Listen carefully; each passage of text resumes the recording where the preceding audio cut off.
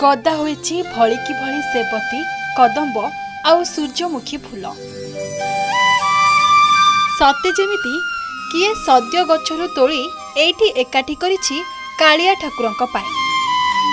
ବାସ୍ତବତାର ଭ୍ରମ ସୃଷ୍ଟି କରୁଥିବା ଏସବୁ କିନ୍ତୁ ସୋଲରେ ତିଆରି। ଆଉ ଏଇ ସୋଲ ଫୁଲ ଲାଗି ହେବ ଆମ କାଳିଆ ଠାକୁରଙ୍କ ସେବାରେ।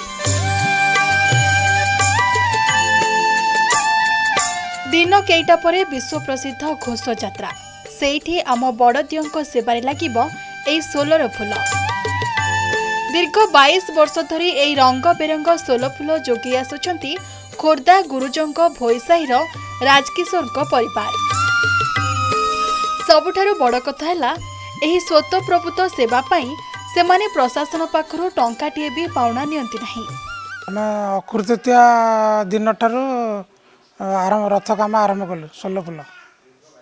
ନିଷ୍ଠାପର ଭାବେ ଘର ପରିଷ୍କାର ଧୁଆଧୋଇ ବିନା ପିଆଜ ରସୁଣରେ ଆମେ ଠାକୁରଙ୍କ ସେବା କାର୍ଯ୍ୟକାରୀ କରୁ ସୋଲ ଫୁଲ ଆଜ୍ଞା ସେ କଣାସ କାକଟପୁର ଆଉ ଆମର ବାଳକାଟି ଏଇ ଏଇ ଜାଗାମାନଙ୍କରୁ ଆମେ ସୋଲ ପ୍ରସ୍ତୁତ କରୁ।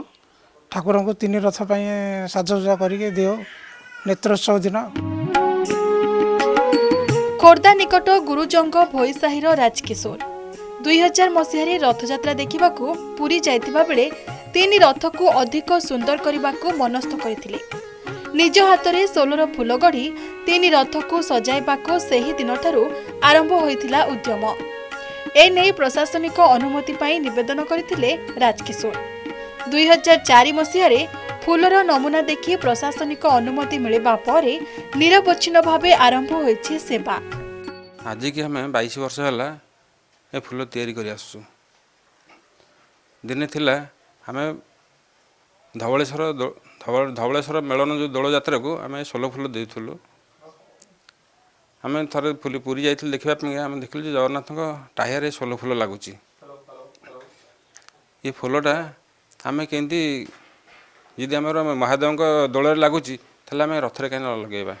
ଦେଖିବୁ ଯେବେ ରଥଯାତ୍ରା ଆସିଲା ଅକ୍ଷୟ ତୃତୀୟାରୁ ଯେବେ ଆରମ୍ଭ ହେଲା ରଥ କାମ ସେଇ ଦିନଠାରୁ ରଥ କାମ ସେଠି ଆମ ଆରମ୍ଭ ହେବ। ଆମର ଏଠି ଘରେ ବି ପୂଜା ଅର୍ଚ୍ଚନା ହେଇକରି ଆମ ଫୁଲ କାମ ଆରମ୍ଭ କରିବୁ।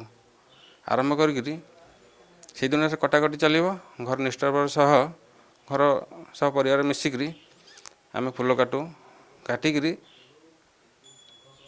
ନେତ୍ରୋତ୍ସବ ଦିନ ନେଇକି ଯାଉ। ରଥ ଦିନକୁ ପୂର୍ବରୁ ଆମେ ନେଇକି ଯାଉ ତିନି ରଥରେ ଲଗାଉ। ସେଥିପାଇଁ ପ୍ରଶାସନ ଆମକୁ ସ୍ୱୀକୃତି ଦେଇଛନ୍ତି। ପରିବାରର ସମସ୍ତଙ୍କ ମନରେ ଉତ୍କଣ୍ଠା। କେତେବେଳେ ଆସିବ ନେତ୍ରୋତ୍ସବ। ଆଉ ସେମାନଙ୍କ ହାତ ତିଆରି ସୋଲ ଫୁଲ ଲାଗି ହେବ ମହାପ୍ରଭୁଙ୍କ ରଥରେ।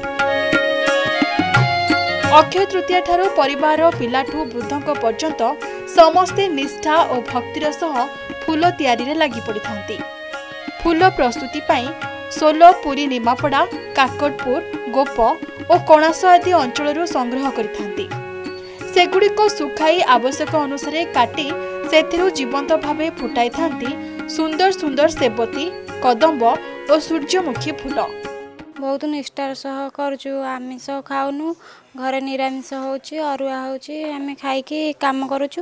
ପ୍ରଥମେ ତ ଆମେ ଗୁରୁଜଙ୍ଗ ଜଗନ୍ନାଥ ଗୁରୁଜଙ୍ଗ ଧବଳେଶ୍ୱରଙ୍କୁ ଆମେ ଆଗ ଫୁଲ ଦେଉଥିଲୁ। ତାପରେ ଆମ ମାମୁଁ ହେରିଙ୍କା ଥରେ ପୁରୀ ଯାଇଥିଲେ। ଦେଖିକି ଆସିଥିଲେ ଯେ ରଥ ଖାଲି ପଡ଼ିଛି। ତ ସେଥିପାଇଁକି ସେ ଉଁ, ଇଚ୍ଛା କଲେ ଯେ ଜଗନ୍ନାଥଙ୍କୁ ଆଉ ବଳଭଦ୍ରଙ୍କୁ ସୁଭଦ୍ରାଙ୍କୁ ଉଁ, ରଥ ଫୁଲ ପାଇଁକି ଉଁ, ଦେବେ ବୋଲିକା ମନେ ମନେ ମନେ ଭାବିଲେ। ତାପରେ ସେ ଉଁ, ପୁରୀ ପ୍ରଶାସନଙ୍କ ସହିତ କଥା ହେଇକି ଆସିଲେ। ତ ପ୍ରଶାସନ ସେ କହିଲେ ଯେ ହଁ ଆପଣ ଆଣିକି ଦେଖିବା ଥରେ ଲଗାନ୍ତୁ। ଆମକୁ ଯଦି ଭଲ ଲାଗିଲା ଆପଣ ସବୁ ବର୍ଷ ଆଣିକି ଲଗେଇବେ। ତ ଦୁଇ ହଜାର ଚାରିଠୁ ମାମୁଁ ହେରିଙ୍କା ଆମର ନେଇକି ଲଗାଉଛନ୍ତି। ଆମକୁ ବହୁତ ଖୁସି ଲାଗୁଛି। ଶୁଦ୍ଧ ପୂତ ଭାବେ ପରିବାରର ସଦସ୍ୟମାନେ ନୂଆ ଲୁଗା ପିନ୍ଧି ଅତି ପବିତ୍ର ଓ ନିଷ୍ଠାର ସହ ଏହି କାମ କରିଥାନ୍ତି। କୌଣସି ରାସାୟନିକ ରଙ୍ଗ ବିନା କେବଳ ଜରି ଜମ୍ବୁରା ଓ ଚୁମ୍କି ଦେଇ ଫୁଲଗୁଡ଼ିକୁ ଅଧିକ ଆକର୍ଷଣୀୟ କରାଯାଇଥାଏ। ଆଉ ଦିନ ଗଟା ପରେ ଭକ୍ତଙ୍କ ଗ୍ରହଣ ହେବ ପବିତ୍ର ଓ ବିଶ୍ୱ ପ୍ରସିଦ୍ଧ ଏ ଘୋଷଯାତ୍ରା। ତିନି ରଥରେ ସୁସଜ୍ଜିତ କରିବା ପାଇଁ ଗୁରୁଜଙ୍ଗର ଏ ଭୋଇ ସାହିର ଏ ପରିବାର ବାଇଶ ବର୍ଷ ଧରି ଜଗନ୍ନାଥଙ୍କର ସେବା କରିବାର ସାନ୍ନିଧ୍ୟ ଲାଭ କରିଛନ୍ତି। ଆଉ ରଥରେ ଝଲସିବ ଏ ଗୁରୁଜଙ୍ଗ ଭୋଇ ସାହିର ଏହି ଷୋଲ ଫୁଲ। ଖୋର୍ଦ୍ଧାରୁ ଭିଡ଼ିଓ ଜର୍ଣ୍ଣାଲିଷ୍ଟ ଦିଲ୍ଲୀପ ନାଇଡୁଙ୍କ ସହ ସଂଗ୍ରାମ ହୋତାଙ୍କ ରିପୋର୍ଟ ଅର୍ଗସ୍ ନ୍ୟୁଜ୍।